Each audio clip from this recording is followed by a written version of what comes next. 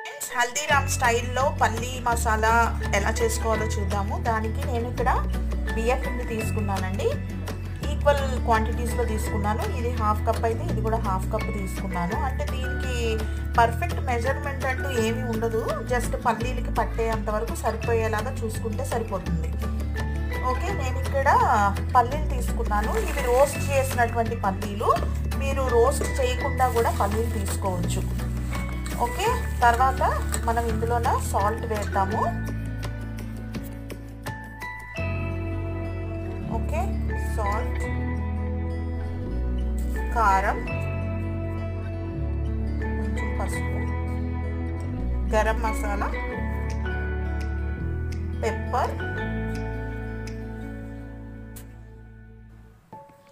ఒక నిమ్మకాయ రసం లెమన్ జ్యూస్ కొంచెం అల్లం వెల్లుల్లిపాయ పేస్ట్ ఓకే చాట్ మసాలా కూడా వేసుకోవచ్చండి. నా దగ్గర చాట్ మసాలా లేదు. బట్ చాట్ మసాలాలో ఏముంటుంది?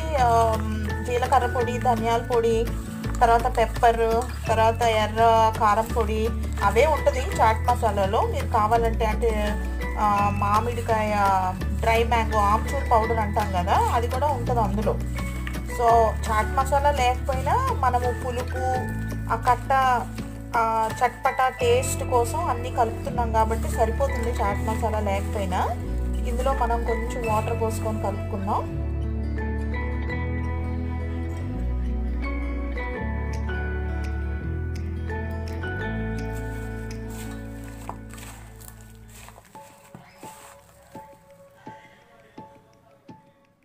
ఓకే సరిపోయింది.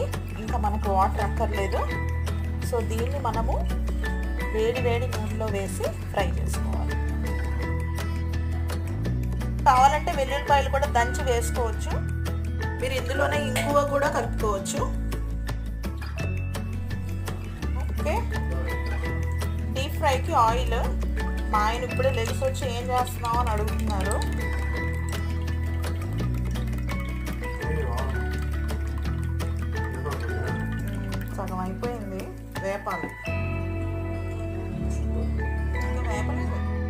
ఓకే ఆయిల్ వేడెక్కిపోయింది.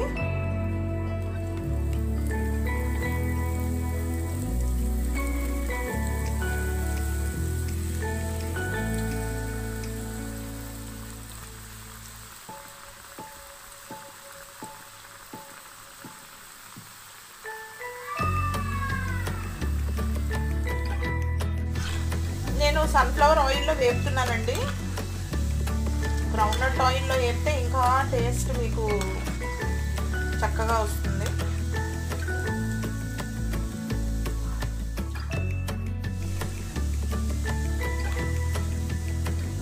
ఓకే చక్కగా వేగిపోయాయి.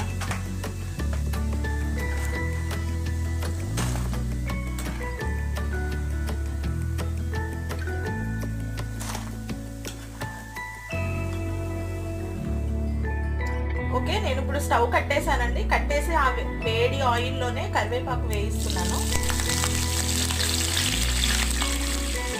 కరివేపాకు చక్కగా వేగిపోయింది కదా తీసి మనం మన పల్లీల్లోనే వేసుకుందాం.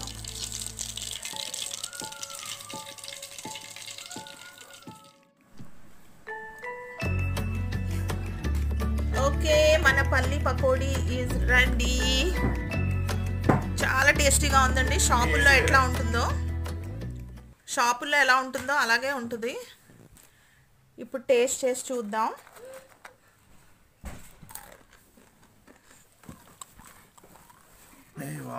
చాలా క్రిస్పీగా ఉందండి.